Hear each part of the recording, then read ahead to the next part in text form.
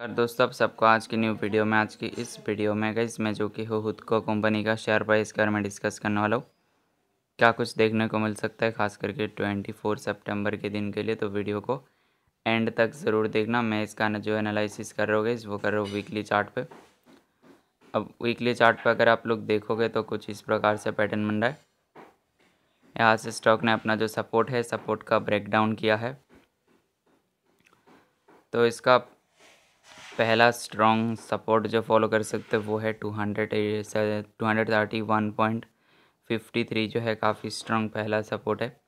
पहला सपोर्ट का ब्रेकडाउन आता है, अगला सपोर्ट फॉलो कर सकते वो है two hundred eleven point sixty four पे है।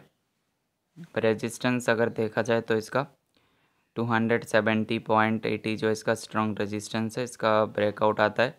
देन आप लोग इसका अगला स्ट्रॉन्ग रेजिस्टेंस फॉलो कर सकते वो है ये जो आप लोग देख रहे हो two hundred ninety nine point zero five पे, काफ़ी स्ट्रॉन्ग रेजिस्टेंस है तो इस प्रकार से चला है। यहाँ से एक सपोर्ट लेके मतलब इस लेवल तक जाके, फिर स्टॉक यहाँ से वापस अपना जो डाउन ट्रेंड है, वो कंटिन्यू कर सकता है। तो ये जो सारे लेवल्स है, खास करके अगला ट्वेंटी फोर सेप्टेम्बर के लिए बहुत ही इम्पोर्टेंट है। मुझसे कांटेक्ट करके कुछ भी जानना चाहते हो तो गई चैनल का अबाउट पे कांटेक्ट मिल जाएगा। मिलता हूँ मैं नेक्स्ट वीडियो में, तब तक के लिए सभी को बाय बाय